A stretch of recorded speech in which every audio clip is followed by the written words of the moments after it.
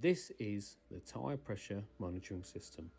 This is a sensor in each of the wheels that is monitored by the car to assess tyre pressure. If the light comes on, it indicates that one or more of the tyres has fallen below the recommended minimum pressure. It is important to visually check the tyres if you see the light appear to check that there is no dramatic and obvious loss in tyre pressure due to a puncture. More commonly, the light will indicate a small drop in pressure that could be even be caused by a significant change in weather temperature. Cold weather reduces pressure and hot weather increases it. The remedy is just to check the tyre pressures and bring them back to the recommended levels. You can normally find this in your boot.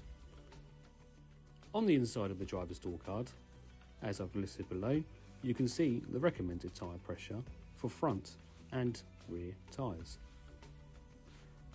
Once connected up the pump, you can then check what your tyre pressure is.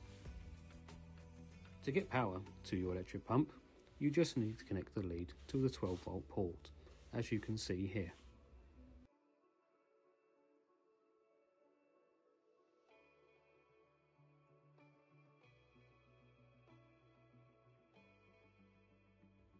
Once the power is connected, on the left hand side you'll have your on switch.